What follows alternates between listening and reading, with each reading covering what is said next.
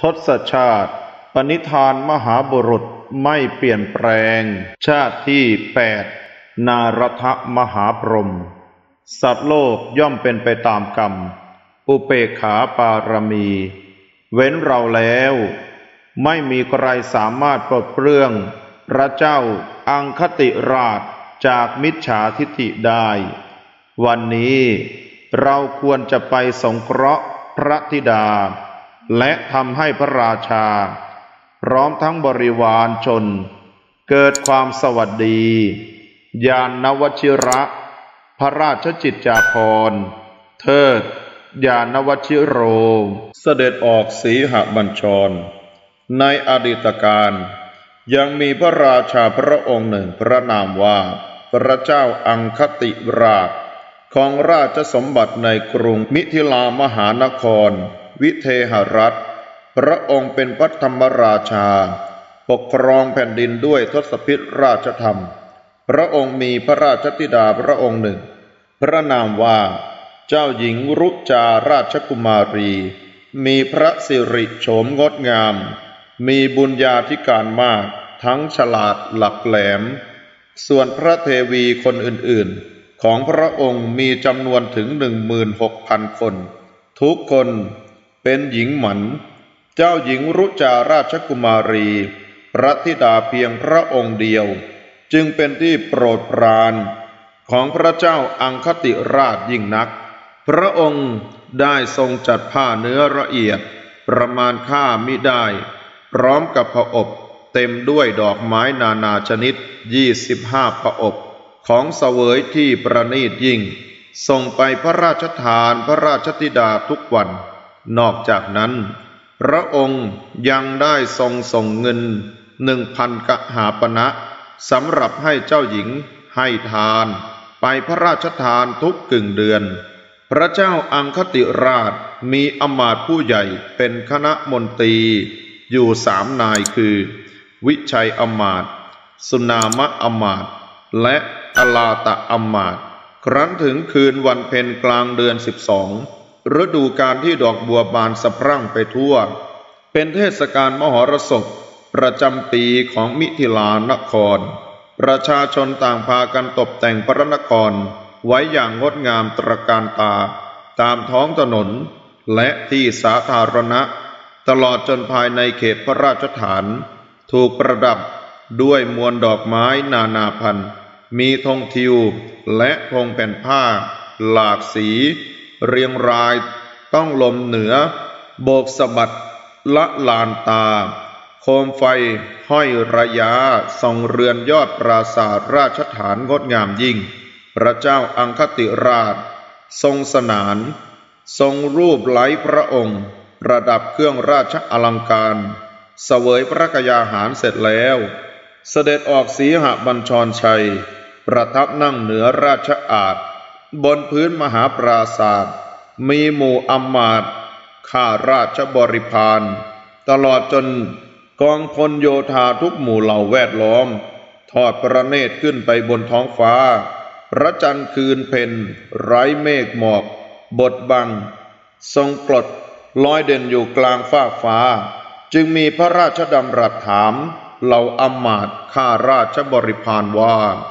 ราตีอันบริสุทธิ์เช่นนี้ น่ารื่นรมยิ่งนัก ราตีเช่นนี้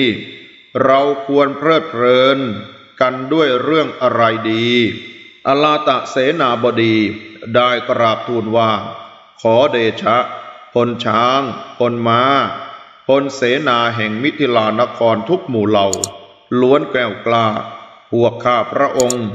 จะนำทหารจักกันออกรบ เมืองใดยังไม่ยอมเป็นข้าขอบขันตสีมา ก็จะนำมาสู่อำนาจของพระองค์ พวกเราจะได้ชัยชนะ ผู้ที่เรายังไม่ชนะ สุนามะอมาตกราบทูลว่า ขอเดชะ พวกศัตรูของพระองค์ล้วนอยู่ในพระราชอำนาจ ต่างพากันวางสัตรายอมสวามิภักดิ์แล้วทั้งหมด วันนี้ เป็นวันมหรสพ เป็นวันที่ควรจะสนุกสนาน ขอให้ประชาชน จัดเตรียมข้าวปลาอาหารมาเพื่อพระองค์ เฉลิมฉลองกันอย่างยิ่งใหญ่ ขอพระองค์จงทรงรื่นรมด้วยกามคุณ และการฟ้อนรำขับร้อง การประโคมเถิดพระเจ้าค่าวิชัยอมาตฟังคำอมาตทั้งสองแล้ว เห็นพระองค์นิ่งอยู่ ไม่ทรงยอมรับ ไม่ทรงคัดค้านจึงกราบทูลว่า ข้าแต่มหาราชเจ้ากรรมคุณทุกอย่างบำเรอพระองค์เป็นนิจอยู่แล้ว การที่จะทรงเพลิดเพลินด้วยกรรมคุณ พระองค์ทรงหาได้ไม่ยากเลย ทรงปรารถนาเมื่อไหร่ก็ได้ทุกเมื่อ วันนี้ เราทั้งหลายควรพากันไปหาสมณะหรือพรามผู้เป็นพระหุสูตร รู้แจ้งอัตธรรม ซึ่งจะคลายความสงสัยของพวกเราได้ พระเจ้าอังคติราช ชอบพระทัยข้อเสนอวิชัยอมาตจึงตรัสว่า ทุกท่านจงถือตามมติของวิชัยอมาตแล้วพวกเราควรจะไปหาใครอลาตะเสนาบดี เสนอให้ ไปหาอาเจรกะชื่อคุณะ ผู้กสปะโคดเป็นพระหูสูตรผู้จาไพเราะ เป็นเจ้าคณะ อยู่ในอุทยานมรุกทายวัน พระราชาจึงมีรับสั่งให้สารถีเตรียมการเสด็จไปยังมรุกทายวัน นายสารถีได้จัดพระราชยาน ขบวนเสด็จ ล้วนแล้วแต่ประดับด้วยงา มีกระพองเป็นเงินสำหรับรถพระที่นั่ง เป็นสีขาวผุดผ่อง เตรียมด้วยม้าสินทบ สีขาว ดังดอกโกมุตสี่ตัว ล้วนเป็นม้า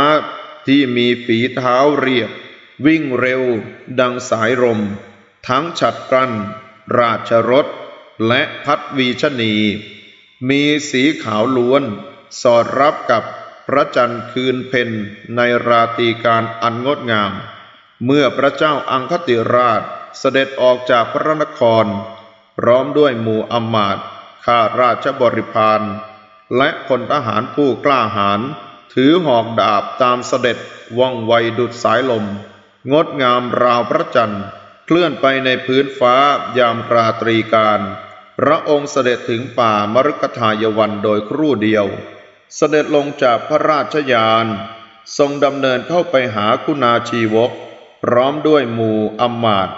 ในค่ำคืนนั้น มีพรามและพระหบดี ตลอดจนประชาชนมาประชุมกัน อยู่ในพระราชอุทยานนั้นเป็นจำนวนมาก